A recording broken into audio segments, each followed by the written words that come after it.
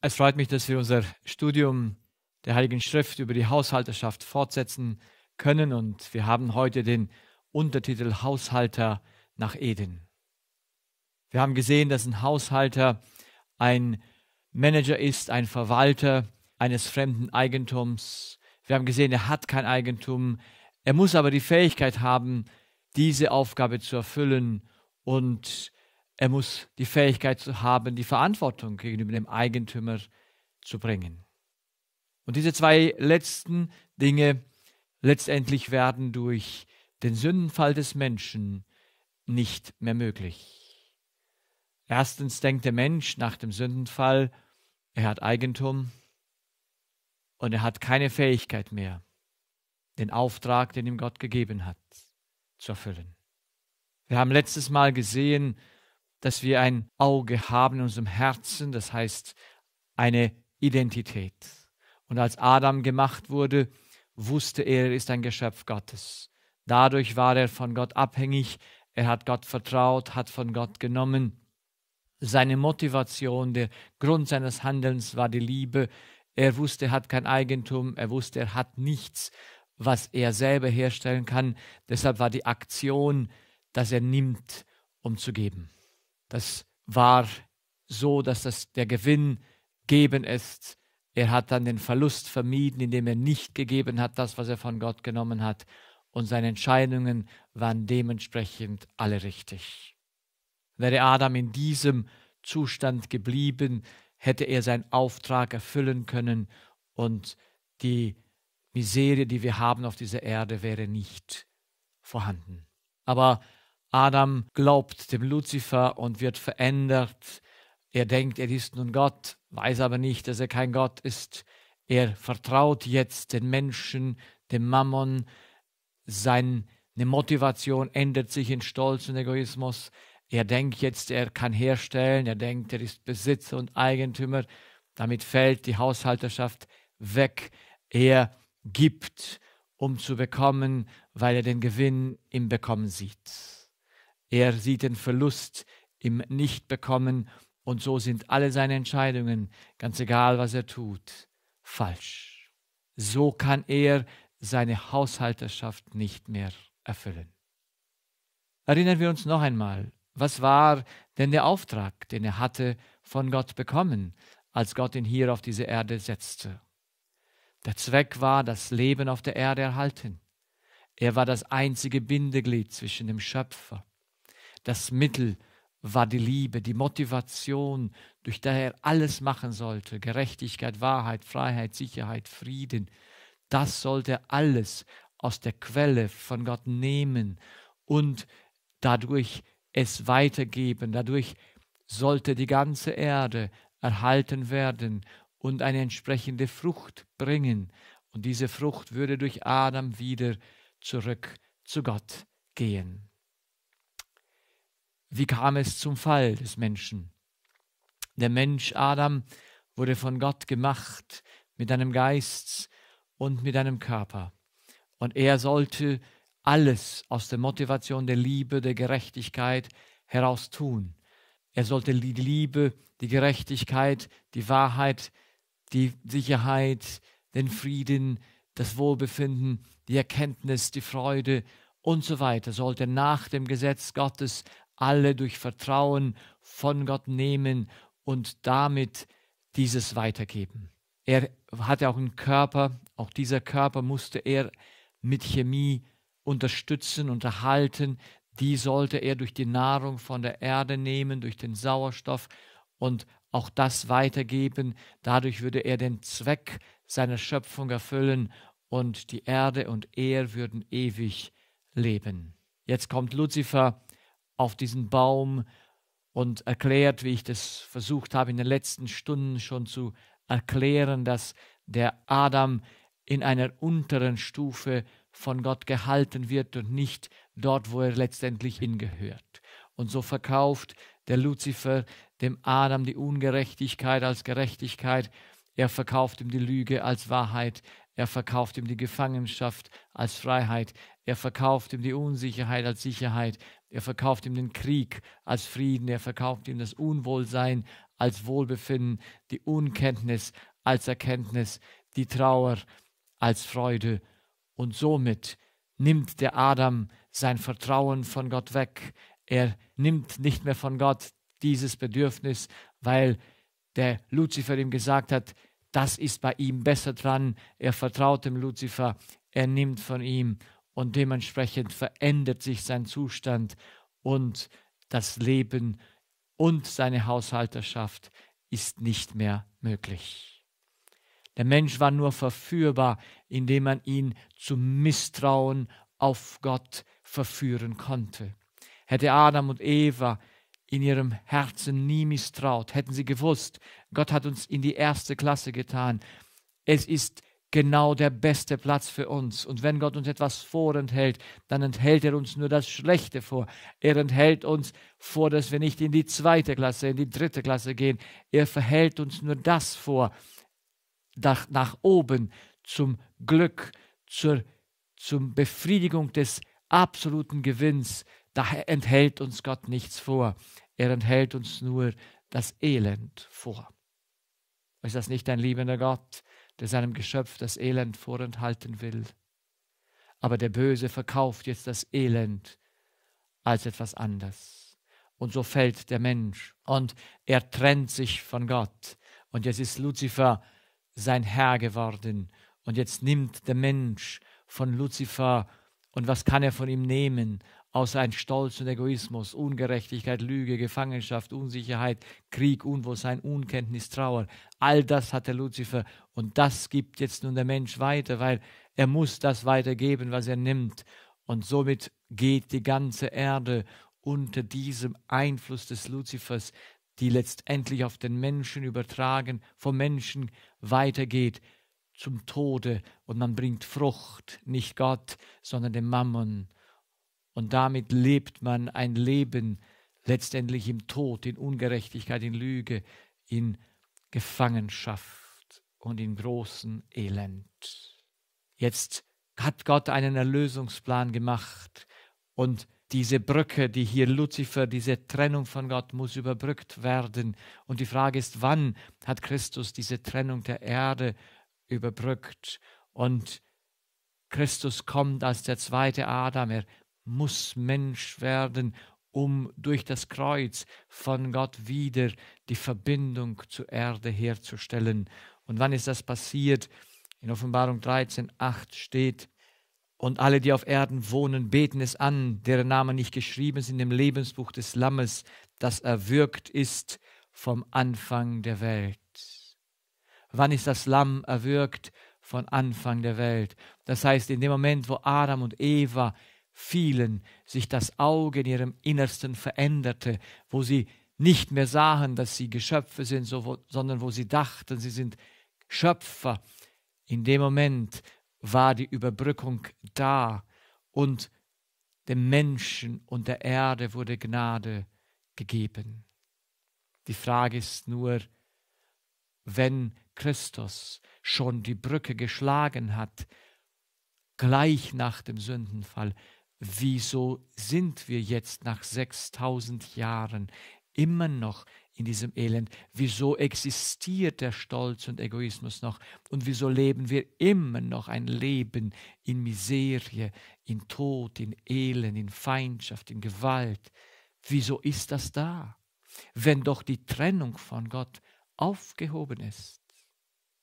Wenn doch Christus die Brücke geschlagen hat, warum ist nicht doch wieder auf der Erde alles richtig? Und das ist eine wichtige Frage, die wir uns stellen müssen, weil sie betrifft den Auftrag, sie betrifft den Sinn, weshalb das Elend da ist. Warum bleiben Elend und Tod weiter bestehen, obwohl sie besiegt sind?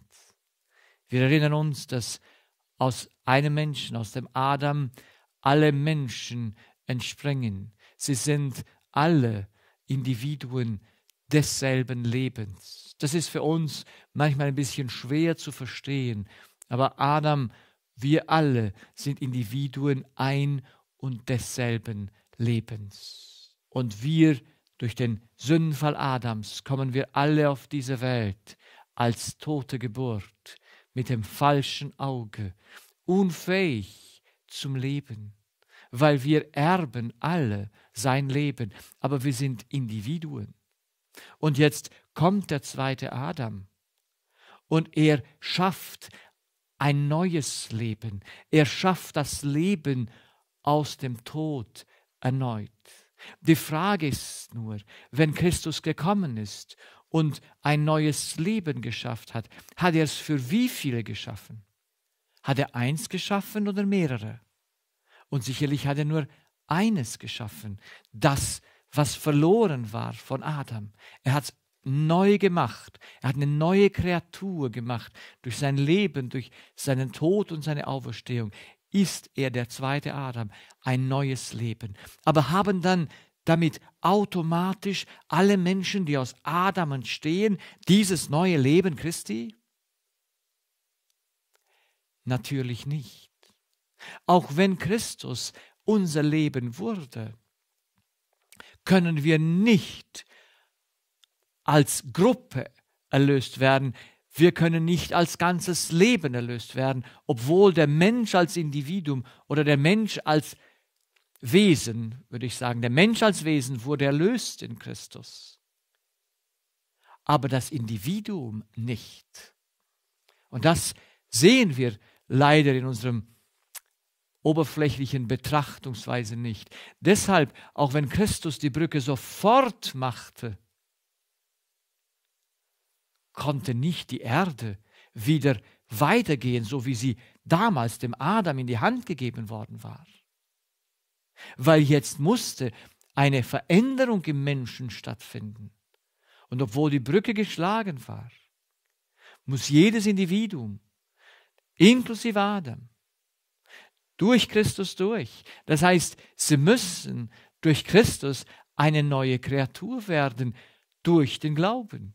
Die einzige Möglichkeit, neu geboren zu werden, ist durch die Annahme, durch den Glauben, durch die Übernahme des Lebens Jesu, in dem das alte Leben getötet wird. Diese neuen Wesen, alle aus Christus geborenen Menschen, sind Individuen desselben Lebens. Werden alle Individuen, die aus Adam kommen, die dasselbe Wesen haben wie Adam, das Wesen Christi übernehmen? Nein. Es gibt viele Menschen, die dem widerstehen, die nicht wollen aus dem Tod zum Leben kommen. Und so lässt sie Gott dort. Aber das Elend dieser Welt und der Tod geht weiter, weil jedes Individuum muss erreicht werden. Das ist der erste Grund. Einem jeden Individuum muss die Möglichkeit gegeben werden, durch das Leben Jesu zu einem neuen Leben zu kommen. Und das ist der Auftrag dieser neu geborenen Menschen. Das ist der Auftrag nach Eden. Wir werden noch einmal recht deutlich sehen. So, das Elend geht weiter auf dieser Erde, weil jedes Individuum muss für sich selbst den Glauben nehmen und auf Gott vertrauen und durch Christus das neue Leben, das neue Wesen, auch selbst dieses Wesen werden. Wir alle leben aus dem Leben Adams. Wir sind das Wesen eines Menschen, aber wir sind Milliarden von Individuen eines desselben Lebens und desselben Wesens. Und so ist auch Christus, ein Wesen. Er ist das Neue und alle von uns gehen über ihn in das neue Wesen ein, aber jeder als Individuum dieses einen Wesens oder neuen Lebens. Auf der großen Skizze des Herzens ist es die Kreuzigung des Unterbewusstseins, die Kreuzigung des Ich bin Gott die stattfinden muss durch Christus, damit es aufhört, dass man von Mammon lebt und nur noch von Gott nimmt. Ohne Kreuz, ohne den Tod. Es geht, ja, geht nicht um einen physischen Tod. Es geht um einen geistigen Tod in unserem Herzen. Ohne diesen Tod kann niemand ins neue Leben übertreten, kann niemand ein neues Wesen werden. Dann bleiben wir alle im alten Wesen des Adams und werden je wie Adam oder wie alle Nachkommen, die Christus nicht angenommen haben, sterben. So der erste Grund, weshalb das Elend noch existiert, ist damit das Böse in uns erkannt wird. Wir sehen das Böse nicht. Deshalb muss jeder Mensch erreicht werden und ihm muss gezeigt werden, schau, was ist mit dir los? Und ich bin so dankbar für die körperliche Krankheit, die uns erklärt und zeigt, wie schlimm unser Selbstbetrug ist, wie tief gefallen wir sind in dieser großen Not. Und wir sehen es nicht einmal. Der Mensch ist blind gegenüber sich selbst. Und dieses Licht der Wahrheit muss an jeden herangetragen werden. Das ist der Auftrag des Haushaltes nach Eden. Es gibt noch einen zweiten Grund, warum das Elend und der Tod weiter besteht, obwohl sie besiegt sind. Hier ist Christus der zweite Adam. Das Böse muss in allen, die Christus ablehnen, zu einem Ende kommen. Das heißt, die Liebe ist unendlich. Das Böse ist endlich. Und es ist nicht der Tod letztendlich, der zeigt, dass der Mensch in seinem, dass, dass das Böse zum Ende kommt, sondern es, es lebt sich aus. Als das Böse ins Universum trat, als Satan höheres Wesen sein wollte als das, was er war, sah niemand, wo die Not war, sah niemand, wohin das hinführen würde, sah niemand, dass das nicht Leben und Ewigkeit bedeutet, sondern Tod, Begrenztheit. Und so ließ Gott dem Luzifer und den Engeln und auch jetzt den Adam, nachdem er gesündigt hat, obwohl er ihn durch Christus erlöste, noch von Anfang der Welt, weiterleben, um das Böse zu zeigen, dass es zu einem Ende kommt. Nicht Selbstzerstörung, definitiv, sondern es kommt an seine absolute Grenze, wo es so böse ist, wo es nichts mehr Böses sein kann. Und das muss erreicht werden. Gott muss vor uns Menschen und vor dem ganzen Universum demonstrieren, dass das Böse sich selbst zerstört. So damit alle nicht gefallenen Wesen erkennen, dass in, der, in dem Versprechen Luzifers, dass es mit ihm besser sein wird, ganz deutlich wird, dass es nicht ist. So die ganzen Menschen, die Christus ablehnen, machen sich selbst ganz kaputt. Ihr Wesen ist so verändert, dass sie nicht mehr zurück können. Sie kommen an die, an die Grenze ihres Wesens und ihres üblen, Tuns. Und damit gibt es, demonstriert Gott, dass er für das Böse nichts kann. Er muss es auswachsen lassen, bis es nichts mehr zu zeigen hat, bis nichts mehr verborgen ist, bis nichts mehr Gutes, ich sage mal, Gutes vorgeschoben werden kann, sondern nur noch das Böse in seiner klarsten, in seinem klarsten Licht hervorkommt. Deshalb ist das Elend und der Tod weiter da, bis diese zwei Dinge erfüllt werden, bis alle Individuen erreicht werden mit dem Angebot des Lebens, weil sie alle tot geboren sind. und bis das Böse nicht mehr sich verbergen kann hinter dem Guten. Wenn das Böse sich völlig ausgelebt hat, wo es kein, keine Verborgenheit mehr ist hinter dem Guten, weil heutzutage bei uns, wir wollen das Gute, wir tun das Böse. Aber es wird durch die Ablehnung Christi das Wesen des Menschen so verändert. Jedes Individuum wird so verändert, dass die Wesenszüge, die Gott einmal in den Menschen gesetzt hat, verschwinden und nur noch das Böse hervorkommt. So waren die Menschen vor der Sinnflut.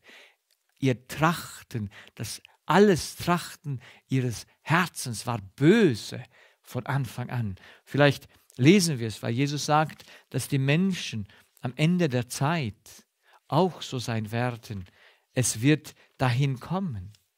Und hier hat Gott einmal eingegriffen, weil es nicht weiterging. Aber die Erlösung, die tatsächliche, dass der zweite Adam kommen sollte, war noch nicht gekommen. Deshalb, und es war ein Gerechter auf der Erde. Und den, durch den hat Gott dann das Ganze weitergeführt. Ich lese ab Vers 6, Kapitel 6 im ersten Buch Mose. Aber der Herr sah, dass der Menschen Bosheit groß war auf Erden und alles Dichten und Trachten. Ihres Herzens nur böse war immer da, da reute es ihn, dass er die Menschen gemacht hatte auf Erden und es bekümmerte ihn in seinem Herzen. Hier wird Gott dargestellt als einer, nicht, dass er bereut, den Menschen gemacht zu haben, nur dass es ihm leid tut, dass sowas aus seiner Schöpfung geschehen ist. Und er sprach, ich will die Menschen, die ich geschaffen habe, vertilgen von der Erde, von Menschen an bis auf das Vieh und bis auf das Gewürm und bis auf die Vögel unter dem Himmel, denn es reut mich, dass ich sie gemacht habe. Aber Noah fand Gnade vor dem Herrn. Und wenn wir sehen, was diese Menschen für Wesen hatten, sie dachten nur noch das Böse in ihrem Herzen. Da hat Gott eingreifen müssen, um den Noah, um die Erde zu erlösen, damit der Erlöser kommen kann. Und so finden wir Teilsituationen, Sodom und Gomorra, wo das Böse sich auslebt, wo nichts mehr zu verbergen ist, wo das Gute verschwunden ist im Menschen. wie soll es Gott da nicht reuen? Wie soll es ihm nicht wehtun, wenn er sieht, was daraus geworden ist? Tut es uns Menschen nicht auch weh, wenn wir sehen, wie abgefallen, wie, ab, wie versunken der Mensch heute ist in Gewalt, in, in Hass, in Habgier? Ist es nicht etwas, was, was uns alle, wenn wir sehen, also die, die noch nicht ganz kaputt sind, die können das erkennen. So schauen wir uns an. Alle, die aus Christus geboren sind, werden Haushalter Christi nach Eden. Was ist ihr Auftrag nach Eden? Sie sollen den Mitmenschen als erstes das Gesetz des Lebens vermitteln. Sie sollen die Liebe Gottes den Menschen zeigen. Und sie sollen da sein für jeden in seiner Not. Und sie sollen die Schöpfung soweit möglich erhalten. Das ist die Haushalterschaft, nach Eden. Das ist aber nur der fähig, der beginnt, aus Christus das neue Leben selbst als Individuum zu leben, der aus dem Tod des alten Wesens kommt in das neue Wesen, das ist Christus. So schauen wir uns das ein wenig an. Was bedeutet es, Haushalter des Gesetzes Gottes zu sein? Eines der größten und schwierigsten Dinge der heutigen Welt ist, dass wir Gott nicht kennen und wir können Gott nur durch sein Gesetz erkennen. Und das sollte, sollten wir der Welt bringen. Wir haben gesehen, als Paulus an die Römer schrieb und sagte, was haben denn die Juden für einen Vorteil? Schreibt hier im Kap in, in Kapitel 3, Römer Kapitel 3, Vers 1. Was haben denn die Juden Vorteils oder was nützt die Beschneidung? Für war sehr viel. Zum Ersten, ihnen ist vertraut, was Gott geredet hat. So, Ihnen ist vertraut, was Gott geredet hat. Er hatte die Juden gerufen, die Nachfolger Abrahams, die des Glaubens sind, hat er gerufen, Haushalter zu sein, seiner Worte, welches nichts anderes ist als sein Gesetz. Ihnen wurde das offenbart in Römer Kapitel 9, finden wir, ich sage die Wahrheit, Vers 1 in Christus und lüge nicht, dass mir Zeugnis gibt, mein Gewissen in dem Heiligen Geist, dass ich große Traurigkeit und Schmerzen und ohne Unterlass in meinem Herzen habe. Ich habe gewünscht, verbannt zu sein von Christus für meine Brüder, die meine Gefreundeten sind, nach dem Fleisch, das heißt nach der Verwandtschaft, die da sind von Israel, welchen gehört die Kindschaft und die Herrlichkeit und der Bund und das Gesetz und der Gottesdienst und die Verheißungen, welche auch sind die Väter und aus welchen Christus herkommt nach dem Fleisch, der da ist Gott über alles gelobt in Ewigkeit. So was haben die Haushalter nach Eden bekommen? Die Kindschaft. Ja, wir alle sind die Kinder Christi. Wir sind die Kinder eines neuen Wesens die Herrlichkeit, den Charakter Christi, der ist der Charakter, der unser werden soll. Der Bund, das ist der Auftrag, den wir bekommen haben, die, das Werk zu tun. Und das Gesetz, der Gottesdienst und die Verheißungen. Das ist unser Auftrag. Das hat uns Gott aufgegeben, damit wir es der Welt geben. Und wie sollen wir das tun? Hier ist der Mensch, der durch Christus gerecht geworden ist. Er lebt nach dem Gesetz. Er vertraut auf Gott. Er nimmt von Gott sein Bedürfnis. Das Nehmen und das Vertrauen ist unsichtbar. Aber was er tut, das Geben muss durch seinen Körper durch. Und das sieht man.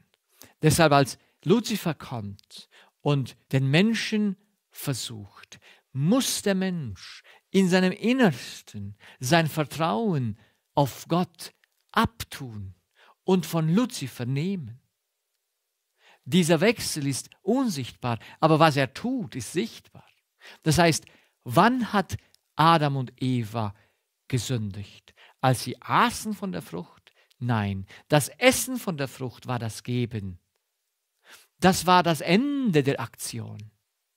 Die, unsere Entscheidungen sind das Ende des ganzen Akt, Aktions. Aber die, jede Aktion unseres Geistes beginnt mit Vertrauen. Und Adam und Eva nehmen ihr Vertrauen weg von Gott. Sie nehmen nicht mehr aus Gott. Sie vertrauen auf Luzifer. Dadurch werden sie zu Sünden und werden ungerecht. Und sie geben weiter des Luzifers Erbschaft. Und jetzt hat Gott die zehn Gebote geschrieben nach dem Sündenfall. Diese zehn Gebote sind adaptiert für den gefallenen Menschen. Sie beinhalten das Gesetz, aber sie sind es nicht vom Buchstaben her. Und das haben, haben wir nicht verstanden. Weil wir das Gesetz nicht verstanden haben. Es gibt eins, Vertrauen und Nehmen, um zu geben. Das ist das Gesetz. Die zehn Gebote sind nur da, um dem Menschen zu zeigen, dass er als Übertreter des Gesetzes an einer Stelle das Gesetz übertritt, nämlich am Nehmen, am Vertrauen, weil das ist unter Gesetz gestanden. Deshalb hat Gott das Gesetz in zwei Tafeln geschrieben, weil es zwei Aktionen gibt, das Nehmen und das Geben. Es gibt nicht mehr. Die eine Tafel zeigt die Ausschließlichkeit des Nehmens, weil es ist keiner außer Gott, woher der Mensch sich ernähren kann. Und die zweite Tafel zeigt die Einschließlichkeit. Adam und Eva sollten für alles, was auf dieser Erde war, verantwortlich sein. Sie sollten das weitergeben, was sie ausschließlich aus Gott nahmen, war einschließlich für alle gedacht. Kein einziger sollte ausgelassen werden. Das ist das Gesetz in seiner Essenz. Deshalb hat, da Gott wusste, dass das Gesetz nur im Vertrauen und beim Nehmen ge, gebrochen werden kann, gibt er von zehn Geboten acht Verbote. Das erste ist ein Verbot, kein anderer Gott. Das zweite ist keine Götzenbilder, keine Götzen machen. Es gibt keine anderen Götter und sie nicht anbeten. Das dritte ist den Namen Gottes nicht missbrauchen. Das bedeutet, wir sind nach seinem Namen genannt. Namen bedeutet, wir sind nach seinem Wesen. Jeder, der den Namen Gottes missbraucht, der nimmt nicht von Gott, der lebt nicht aus ihm. Und dann gibt es ein Gebot, wo es ganz deutlich spricht, dass man ein Geschöpf Gottes ist, dass wir es von ihm nehmen. Und dieses Gebot wird natürlich, die Juden haben es nicht verstanden, weil das Gesetz insgesamt nicht verstanden haben, haben daraus eine Form gemacht. Und die anderen, die den Sabbat oder den siebten Tag der Woche halten, der siebte Tag der, nach der Schöpfung, dieser Tag, den Gott geheiligt hat, der ist nur eine, der ist ein Bild, dass man versteht, wer man ist. Ich lese aus 2. Mose 20, Vers 8. Gedenke des Sabbattags, dass du ihn heiligst. Sechs Tage sollst du arbeiten und alle deine Dinge tun. Aber am siebenten Tage ist der Sabbat des Herrn deines Gottes. Da sollst du kein Werk tun, noch dein Sohn, noch deine Tochter, noch dein Knecht, noch deine Magd, noch dein Vieh, noch dein Fremdling, der in deinen Toren ist. Denn in sechs Tagen hat der Herr Himmel und Erde gemacht und das Meer und alles, was darin ist, und ruhte am siebenten Tage. Darum segnete der Herr den Sabbattag und heiligte ihn. Ihr merkt, in diesem Gebot ist ein Gebot drin. Es geht um eine Heiligung eines Tages oder des Schöpfers. Ganz klar des Schöpfers, nicht des Tages. Aber die Menschen haben aus dem Gebot den Tag geheiligt, nicht den Schöpfer. Der Tag ist nur ein Bild der Heiligung für den Schöpfer. Deshalb kann man äußerlich den siebten Tag als Ruhetag halten, welches der Samstag ist, und dennoch innerlich im Vertrauen auf Luzifer und auf Menschen und auf Tiere leben. Ich hoffe, dass wir das verstehen. Die Menschen können wenn sie verwechseln den Tag mit dem Schöpfer. Wir beten den Schöpfer an, nicht den Tag. Der Tag ist nur das Bild, er ist das sichtbare Zeichen der wahren Anbetung Gottes, das man von Gott nimmt, weil man sein Geschöpf ist. Man arbeitet an diesem Tag und es letztendlich im ganzen Leben nicht für sich selbst. Deshalb sagt er, alle Arbeit muss stoppen. Wir arbeiten nicht mehr für uns selbst. Wir arbeiten für ihn. Der ganze Haushalt eines Menschen ist inbegriffen darin. Aber wenn man das Gebot wortwörtlich nimmt, wenn man es nicht in seinem Zusammenhang sieht, was es letztendlich sagen will, dann landet man dort, wo die Juden gelandet sind, nämlich bei der Ablehnung ihres Erlösers. Dann denkt man, ein äußerliches Zeichen erlöst einen. Das ist dasselbe wie mit der Beschneidung. Gott hat viele äußerliche Zeichen gegeben, dass wir Kinder Gottes sind, dass wir uns selbst nicht gehören, dass wir seine Geschöpfe sind, dass wir von ihm nehmen. Erinnere dich, du bist ein Geschöpf. Gott hat dich hat die Erde in sechs Tagen gemacht und am sechsten wurdest du gemacht. Und Gott ruhte. Das heißt, er, er ruhte nicht von, seinem, von seiner Tätigkeit zum Leben zu erhalten, sondern er ruhte nur von der Tätigkeit, was Neues zu schaffen. Deshalb war es ganz wichtig, Christus hat diese Sache deutlich gemacht. Er kam auf diese Erde und er hat auch am Sabbat gearbeitet, aber nicht um etwas zu schaffen, sondern um das Leben zu erhalten. Würde Gott eine Sekunde nicht das Leben erhalten, würde alles kaputt gehen. Deshalb ruht Gott von der schöpferischen Tätigkeit, aber nicht von der erhaltenden Tätigkeit. Die muss er die ganze Zeit aufrechterhalten. Deshalb sagt Jesus, ich bin gekommen zu erlösen, ich bin gekommen aufrecht zu erhalten, das Leben. Deshalb ist all das, was zum Leben gehört, dass das Leben erhält am Sabbat, notwendig, nicht nur erlaubt zu tun. Hier geht es darum, dass niemand für sich mehr arbeitet. Man muss verstehen, dass alles Gott gehört. Da ist die ganze Schöpfung einge, einge, ge, gedacht, auch dein Vieh und dein Fremdling und deine Magd. Alles ist einbegriffen in dieses Gebot. Und würden wir es verstehen, was Gott wirklich damit meint, dann wären wir nicht nur äußerliche Halter eines Gebotes, sondern von innen heraus würde das Wesen Gottes kommen. Und der Sabbat wäre ein wahres Zeichen eines Menschen, der aus Gott lebt, so wie Christus aus Gott gelebt hat. Deshalb sagt er, ich bin der Herr des Sabbats. Er hat ihn ja gemacht. Er wusste, was am Sabbat notwendig ist zu tun und was nicht. So, nur das vierte Gebot ist das Gebot. Ehre Vater und Mutter kommt in die Einschließlichkeit. Hier ist es nicht mehr ausschließlich. Ich kann nicht Vater nur ehren und Mutter nicht. Nein, ich muss Vater und Mutter ehren. Das ist einschließlich. Ich soll nicht töten, nicht Ehe brechen, nicht stehlen, nicht lügen oder nicht begehren, was des Nächsten ist. So diese zehn Gebote haben etwas ganz Deutliches. Acht davon sind Verbote zu nehmen aus der falschen Quelle. Wir können aus einem falschen Gott nehmen oder aus den Menschen, die uns Gott verboten hat zu nehmen. Er hat ein Gebot gegeben zum Nehmen, das ist das Sabbatgebot. Und er hat eins, das das prüft zum Geben, Vater und Mutter. Niemand kann Vater und Mutter ehren, solange er von Vater und Mutter noch sich selbst ernährt. Solange Vater und Mutter noch meine Anbindung sind, ist das Gesetz nicht haltbar. Solange ich nicht alle Menschen einschließlich lieben kann, ob sie mir Gutes oder Schlechtes tun, bin ich nicht im Gesetz.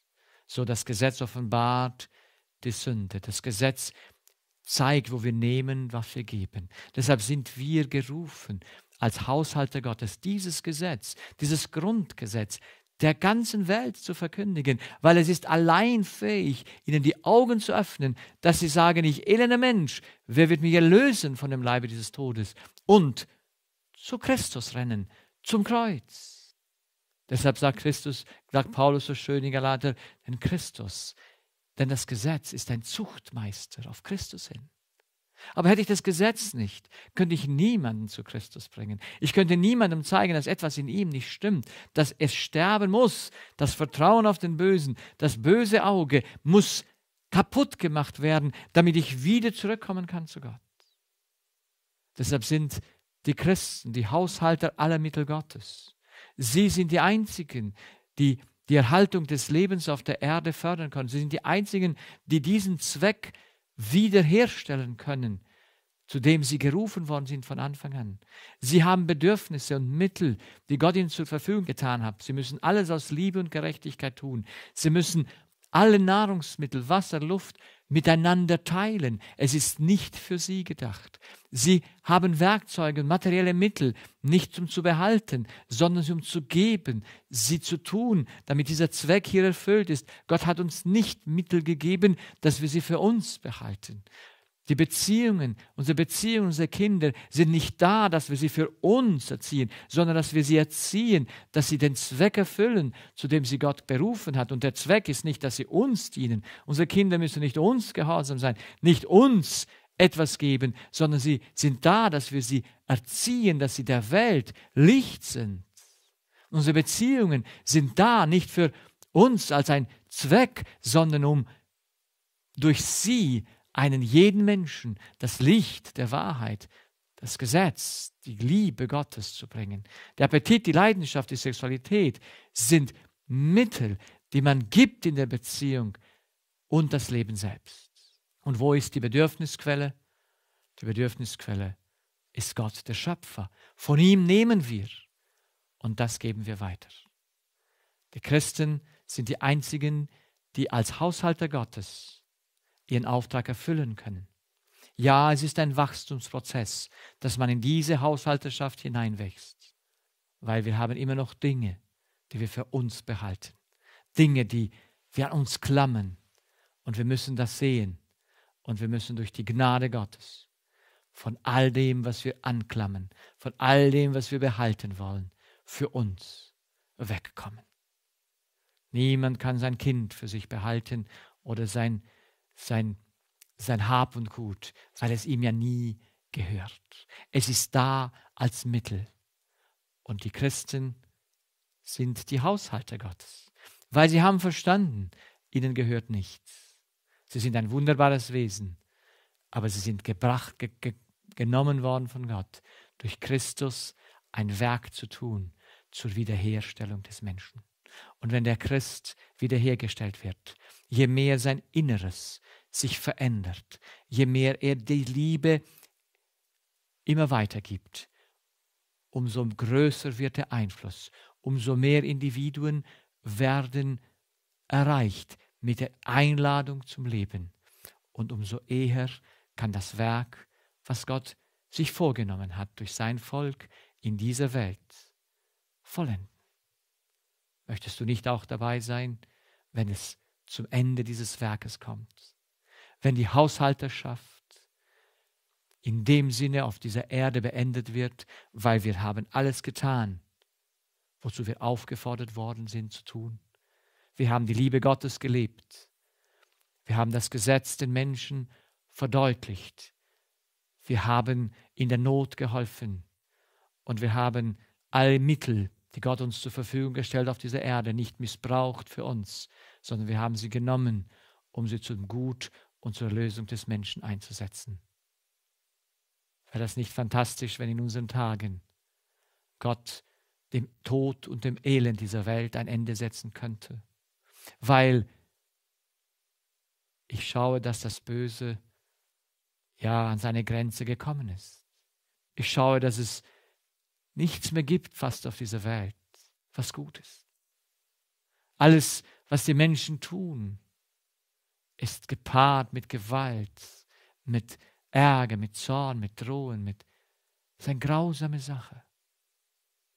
Wäre es nicht an der Zeit, dass Gott durch deine Haushalter dieses beendet? Weil wenn jedes Individuum auf dieser Erde die Einladung empfangen hat, und sie dann annimmt oder ablehnt. Und wenn das Böse sich ausgewachsen hat, dann kann Gott sagen, jetzt ist nichts mehr zu tun. Die Haushalter haben ihr Werk erfüllt.